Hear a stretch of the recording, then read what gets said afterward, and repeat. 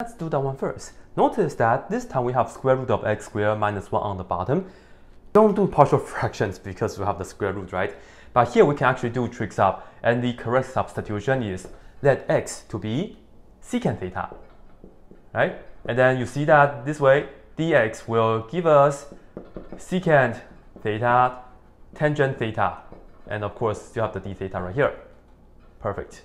Now, go ahead and just plug in everything into the original inter integral, and it depends on how you want to do it. You might want to finish everything in the theta world, and if you want to do that, well, here is x is equal to 2, and here is x is equal to infinity. So you have to just do this one very carefully. And it's up to you, right? It's really up to you to see if you want to work out the trick or not.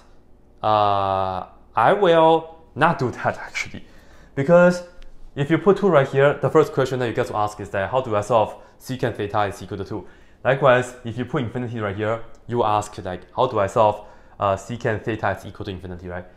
It might be better if we just use trig sub, just go to the theta world to finish the integration, and then come back to the x world and then do everything there. So let's just ignore the numbers right here for now. So with that being said, Let's just focus on the integration. Here we have 1 over square root of, and this right here is secant theta, and we have that being squared, and then we have the minus 1, and the dx is all that, so I'll just write down secant theta tangent theta d theta, like so. Alright, what's secant square theta minus 1? Tangent square theta, right? So this is just square root of tangent square theta. And yes, they will cancel. So we have a tangent theta on the bottom. And the best part is this and that will also cancel. In another word, we just have to integrate secant theta. So this right here is the integral of secant theta d theta, which is going to be ln absolute value of secant theta plus tangent theta. Don't worry about plus c, because we are going to plug in numbers. But we do have to worry about going back to the x world. Again, that's just my recommendation, especially when you are doing the trig substitution. Go back to the x world and then work on the numbers there. Well, we know that secant theta is equal to x. So we can write this as secant theta equals x over 1. And then draw the right triangle. And remember, secant is well, let's put down the right angle here and then the angle theta. Secant is what? Hypotenuse over adjacent. And the opposite is you open the square root first and you do the hypotenuse square minus this side square. And yes, do you see the same radical again? Yeah. All right, so based on this triangle, right, based on this triangle, let's go ahead and figure this out. This is ln absolute value. Secant theta is just going to be x, right? That's the nice one. Good. And then plus tangent theta, well, tangent is opposite over adjacent, so we have just square root of x squared minus 1 over 1. So this over that. So we have this x squared minus 1.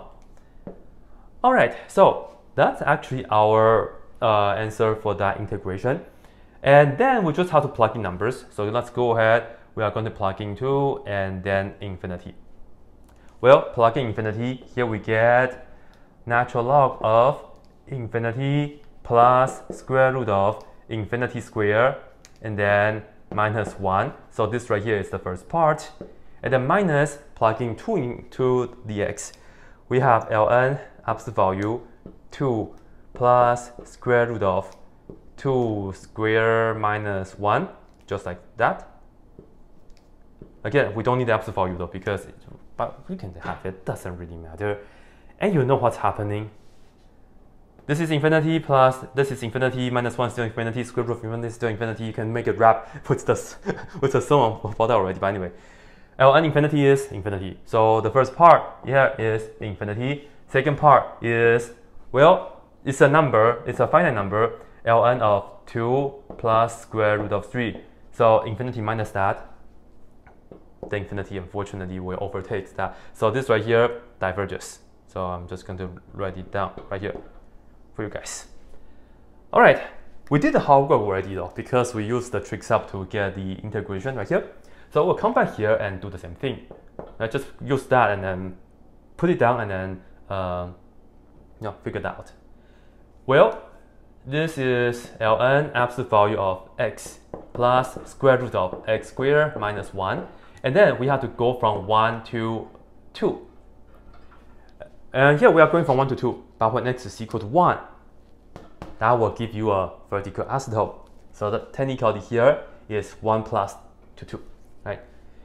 But anyway though, go ahead and plug in so you get ln of 2 plus square root of 2 square minus 1. That's the first part. And then minus ln absolute value 1 plus in there.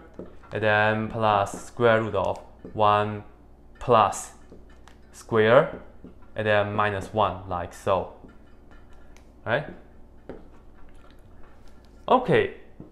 The first part, we get ln of the inside is positive, that's why I changed to parentheses. This is 2 plus square root of 3.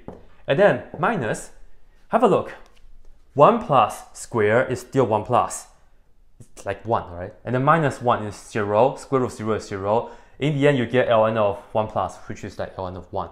So all in all, this right here is just 0. Very nice, huh? So finally, this right here converges, and it converges to ln of 2 plus square root of 3. When we have a finite number, that will be your answer. Yeah, so that's it.